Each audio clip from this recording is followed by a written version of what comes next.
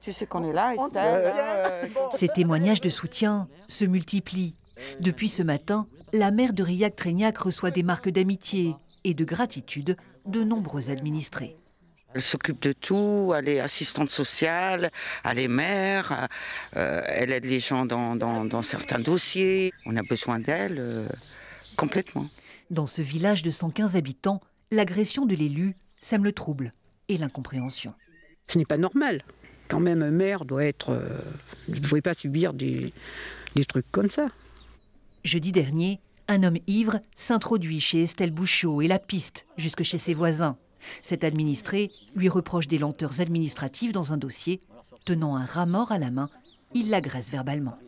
Ça a été un festival de menaces de mort, de ah, je vais prendre une lame, je vais vous, je vais vous tuer, je vais tuer ta, enfin, je, en tutoyant, je vais tuer ta famille, je vais tuer tes enfants, je vais tuer tes petits enfants, tu vas voir. Enfin bon, le maire, c'est n'importe quoi. Enfin, je vous en passe, c'est des meilleurs. C'est la troisième fois que cet homme de 51 ans s'en prend à la mère. Trop c'est trop l'élu décide de porter plainte.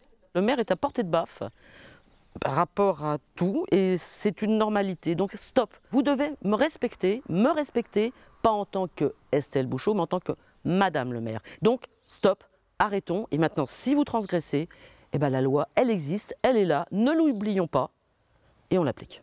En 2023, 69% des maires français déclaraient avoir été victimes d'incivilité, des agressions qui découragent les vocations depuis 2020, 10 maires corésiens ont jeté l'éponge.